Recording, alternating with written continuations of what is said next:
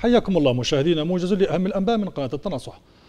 أعلن قسم الحوادث والطوارئ بمستشفى مصرات المركزي عن استقبال عشرة شهداء وسبعة جرحى الخميس جراء هجوم انتحاري بواسطة سيارة مفخخة من قبل ما يعرف بتنظيم الدولة في منطقة أبو غرين مصدر من منطقة أبو غرين ذكر بأن أحد عناصر التنظيم شن هجوما انتحاريا بسيارة مفخخة وذلك على بوابة أبو غرين ما أسفر عن سقوط خمسة شهداء في التفجير.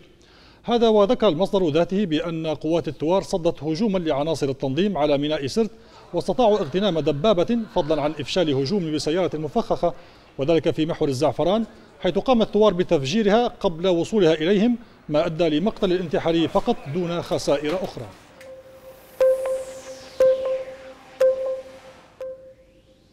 طالب الدكتور بمستشفى مصطفى المركزي مالك القلاب بالتحقيق في حادثة المعاملة السيئة التي تعرض لها عدد من الجرحى الذين تم إرسالهم للجزائر.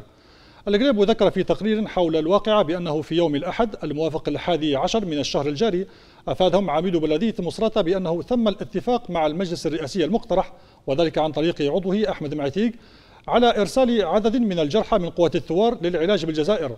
وقال الجريب إن الجرحى اشتكوا من سوء المعاملة حتى إن أحد الأطباء بالمستشفى العسكري بمدينة ورقلة قال للثوار لماذا قتلتم القذافي وفق ما ذكره الجريب استنكرت حكومة الإنقاذ حادثة قصف ملهى للأطفال على أحد شواطئ مدينة درنا ما أدى إلى إصابة العديد من الأطفال مساء يوم أمس الأربعاء. وأكدت الحكومة في بيان لها إدانتها لتواصل عدوان قوات مجرم الحرب حفتر على المدينة ووصفته بالإجرامي داعية الليبيين الوقوف إلى جانب أهل درنا وأفرادها وأفراد جيشها وثوارها ومؤازرتهم بعد أن حرروا مدينتهم من ما يسمى بتنظيم الدولة. وحثت الحكومة في بيانها المنظمات الدولية ومنها حقوق الإنسان والمجالس البلدية المحلية وما دعتها بالقوة الخيرة على إدانة العدوان الوحشي لطيران مجرم الحرب حفتر التابع لما يسمى بعملية الكرامة على مدينتي درنا وبنغازي حسب البيان. قال عضو المؤتمر الوطني عن مدينة درنة عبد الفتاح الشلوي إن مدينة درنة تتلقى ضربات موجعة تستهدف الأطفال الأبرياء والأهالي البسطاء من قبل طيران مجرم الحرب حفتر.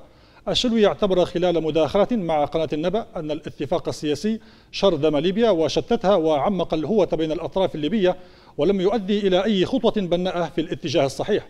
واتهم الشلوي كوبلر بارتباطه بمصالح مع أشخاص وجهات دولية وبأنه لم يقوم أو لم يقم بتقديم شيء لليبيا وصفا بما يقوم به بالاستنساخ الواضح لما يحدث في العراق واليمن وسوريا. وفي الخبر الأخير ذكر بيان صدر عن بلدية الخمس يوم الخميس أن البلدية لم تفاوض في أي وقت من الأوقات من أجل الحصول على مكاسب سياسية أو مناصب في الحكومات أو المؤسسات. هذا وأشارت البلدية أن كل ما طالب به أهل الخمس هو الالتفات بعمق إلى مأساة الصحية الخطيرة التي التي تتسبب بها المحطة البخارية وذلك لتوليد الكهرباء والتي أوجدت حتى الآن آلاف حالات الأورام بسبب السموم التي تضخها المحطة الكهربائية. نهاية الموجز إلى اللقاء.